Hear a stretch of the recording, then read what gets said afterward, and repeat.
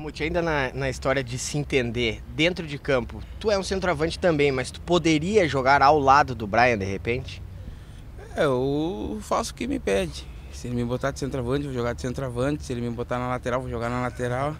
Eu quero ajudar e poder alcançar o, o, título gaúcho. Mamute, o Felipão ele testou você eh, na linha de três meias contra o Caxias e você também foi aproveitado por um tempo contra o Ipiranga nessa função pela esquerda. Você se sente melhor como centroavante, como homem de frente ou pode jogar nessa linha tranquilo também? É, eu, eu, jogo, eu gosto de jogar. Independente do lado ou na frente, eu quero poder ajudar o professor. Graças a Deus ele está me dando oportunidade, de, tanto na, na linha de três do meio quanto na frente. Como tu, como tu analisa essa tua fase de afirmação no Grêmio? Parece que finalmente está conseguindo ganhar teu espaço no profissional. Não, agradeço ao professor Felipe por estar tá me dando oportunidade de sequência. Estou muito feliz, apesar de ter um ótimo grupo como o do Grêmio que está se, se corpando.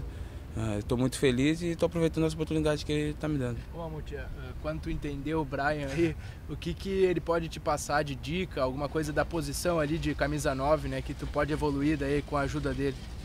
Ah, é posicionamento, essas coisas, como ele é um jogador bastante rodado, experiente, jogou Libertadores, é um cara muito rodado e eu olho ele também nos treinamentos para me aprender os posicionamentos, converso bastante com o Ivo, com o Murtosa também sobre os posicionamentos. Você falou em sequência, Mamute. Chama atenção que o Grêmio vem de uma série invicta, mas que a equipe não tem sequência de jogos. O Filipão não consegue repetir a escalação. Isso chega a ser um problema, atrapalha e o quanto isso pode ser um fator negativo para vocês? Não, a... enquanto isso o grupo grupo está bem focado e quem entrar vai dar conta do recado. Independente de quem jogar, quem não jogar, tá, tá aplaudindo aqui, tá apoiando o jogador. Mamute, no início do ano, o torcedor principalmente ficou muito preocupado com o grupo, até por, por terem muitos garotos. Vocês, jogadores, também olhavam assim com um olhar mais crítico, até de preocupação? Ou mesmo que não tivessem vindo os reforços, acredita que ia ter uma evolução na equipe? Ah, o grupo estava tá trabalhando normal, tranquilo. Os os, os reforços foram chegando naturalmente e chegaram e estão nos ajudando bastante. E cada vez que chegar, vai, a gente vai ficar muito feliz porque o time está se acorpando, está tá em busca do título gaúcho.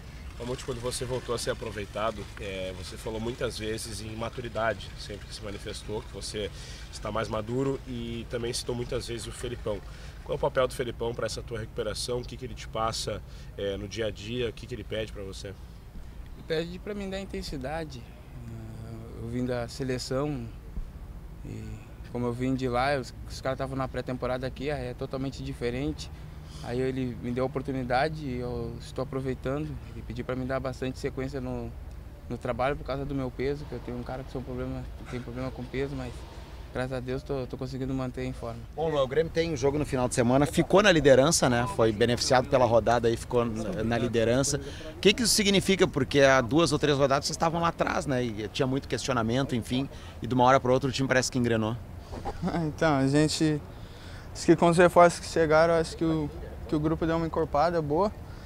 E a gente está buscando desde o começo, né? Tá na ponta da tabela e vamos buscar cada vez mais para continuar. Agora, Lua, não vai lá.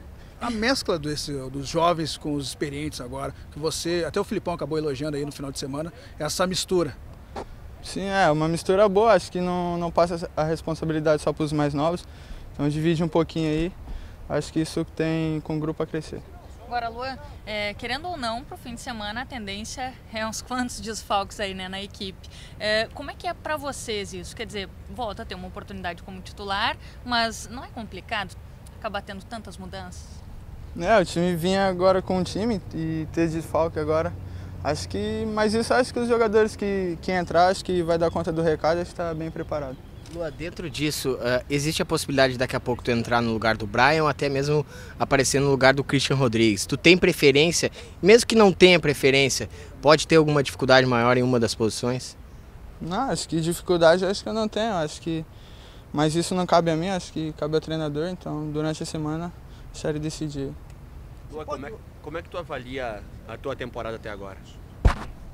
Acho que no começo acho que veio um pouco difícil no, no começo do campeonato, E acho que agora tá com o time todo, acho que time crescendo, acho que a gente naturalmente cresce também. Então, vejo que eu só tenho a crescer. O Filipão falou, Luan, que poderia até te aproveitar de falso 9. Você se sente bem jogando assim? Pode ser uma oportunidade no final de semana para jogar assim? Ah, eu já joguei assim também, então acho que não, se precisar de mim eu vou estar à disposição, não vai ser problema. Luan, você não bateu mal o pênalti, mas a bola não entrou ali, bateu no poste. O que, que aconteceu? O que está faltando para você se firmar ali com tanto talento que tem? Não, acho que sobre o pênalti, acho que, que eu bati com o meu treino, então, então eu estou tranquilo, só, não, só acabei errando ali um pouquinho, então, mas se precisar bater, eu vou, vou bater de novo, tenho a confiança do professor, então, então tô tranquilo. Bom, agora virou uma disputa forte, né, Luan, no time, porque com a chegada desses reforços que você falou antes, né, agora vai faltar lugar, digamos assim, para o Filipão, especialmente do meio campo para frente. Como é que fica para essa briga aí, para arranjar um lugar nesse time agora?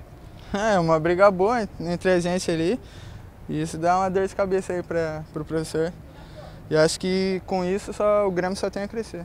Agora, Lua, você acha que melhorou o clima depois que chegaram os reforços que o Filipão tanto estava pedindo e, e, de certa maneira, é, saiu um pouco o peso dos ombros da garotada mais jovem? Tem mais gente para dividir essas responsabilidades? Eu acho que, acho que sim.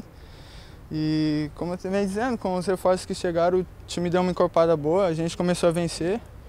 E com isso, naturalmente, as coisas vão dando certo pra gente.